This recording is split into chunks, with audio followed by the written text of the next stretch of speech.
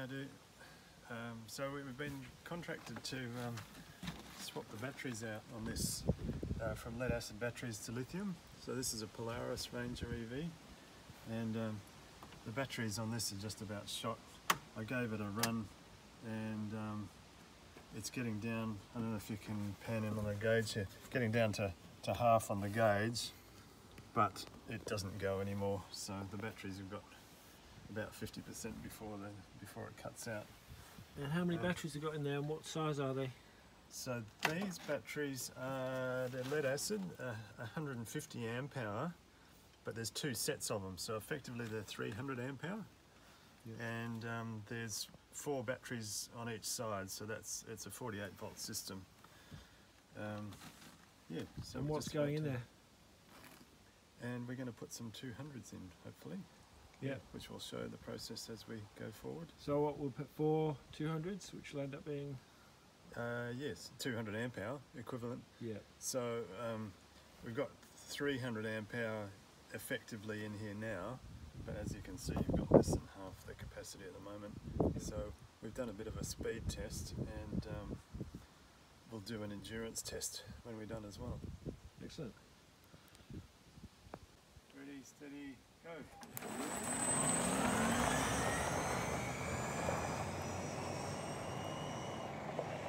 is a before and after lithium batteries uh, speed test around the building.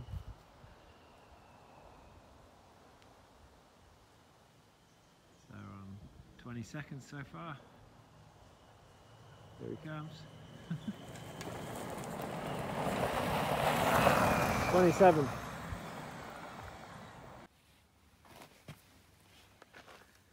right. So here we here we part of the problem, or, or the main problem here, which is uh, which is it's, it's just poor design, really. You know, like look at this. All, all this that's, that's, that's two inches thick of, of mud and gunk around the batteries there. So it's eventually going to cause the chassis to rust out on it. So we're just giving it a good clean at the minute um, in preparation for putting the new batteries in.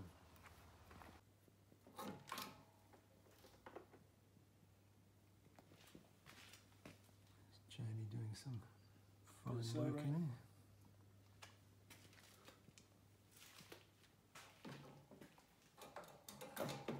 This is take two with lithium.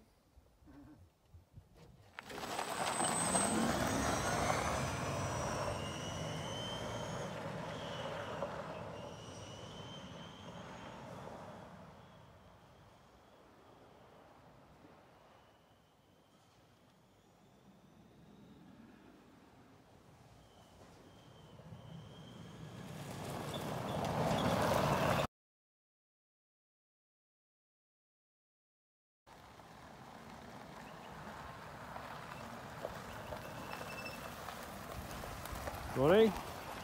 Hi. Okay, so we've done the conversion of this to lithium batteries and um, we just want to show you what we've done. So we've got a display here with um, some basics for the uh, batteries. Everything else just works the same. We've added this battery control unit box here um, and like a master switch for the uh, battery control unit. and underneath is where it gets interesting. So one thing, one thing we did do is, is this nice charging system. So the Polaris used to charge with this charger under here, which is totally useless for our purpose. The the, the um, standard charger just doesn't work. At least not with our batteries. It tries to charge it up to like 60 volt. So we put a new charger in and we charge it up right here. Using this plug here. You can pull that out a little bit and it goes in the existing filler cap. And it sort of retracts on its own so that if you did drive off with it plugged in, it wouldn't matter. Yes, that's the main thing, particularly since we're on the opposite side of the driver being in Australia. Okay, tell us about the batteries. So, we popped some batteries in there. Yeah, you notice a bit of gaffer tape on there that looks a bit agricultural. It's, it's just because um, to protect the, the batteries are reasonably sealed, but it's to protect the tops of the batteries because it's so open under here in the, in the Polaris It's, it's actually, I consider it to be a major design flaw.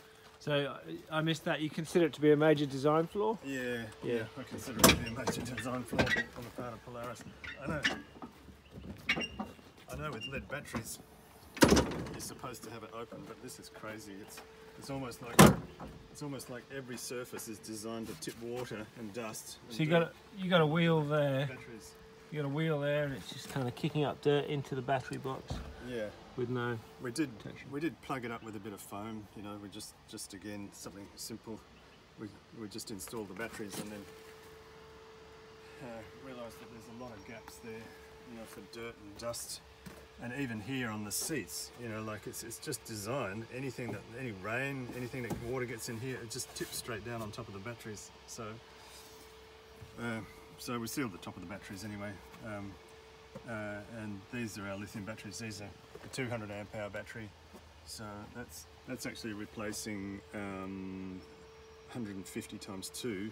That's replacing 300 amp hours of lead acid, but the um, lead acid batteries are a lot heavier.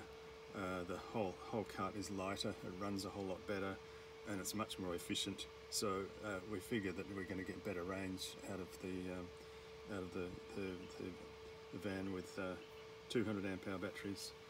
So Yeah. it's it's a reasonably complex process to install because um, we have to protect against over discharge and overcharge.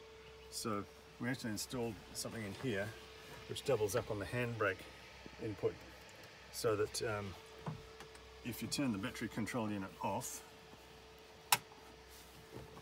and you try and turn the, the cart on, the park brake comes on so you can't move it um, if, if the if there's any error or if the if the battery management system is switched off, which uh, is, is pretty much an essential feature with lithium batteries, you know, because uh, it's it's easy to damage batteries if you over discharge them. And we did one of these a few years ago, didn't we? With 300s in it or 400? 300s. The 300s, yeah. And yeah. we made a much uh, more comprehensive job of, of we, re, we rebuilt the battery box so that the, Yeah. the dust couldn't Yeah. come in, but the, the there wasn't the time on this one or the budget. This, this time we're on a bit of a budget, so we're just trying to keep the costs down and keep it simple. So uh, yeah, we've uh, just done it like that. So we've got our own charger in there. It's a lithium charger. So that's Just down there. That's That's the charger. there. That's And, the uh, EV power charger. Yeah, and our own um, battery uh, management system, and uh, yeah, it goes like a train. So just by way of explanation about the batteries that we took out, there's eight of these monsters. They're 30 plus kilos each, maybe 40 kilos each. We didn't weigh them. Uh, and what we put in was four of these batteries at 30 kilos. Four 200s. Four 200s at 30 kilos a piece. So, so you're replacing, oh God, say they're 30 kilos, 250 odd kilos, maybe 300 kilos of lead with um, uh, four, three, 120 kilos of um, lithium. So that's a huge weight saving, and the cart drives a lot better because of it. Big improvement. Big, big improvement.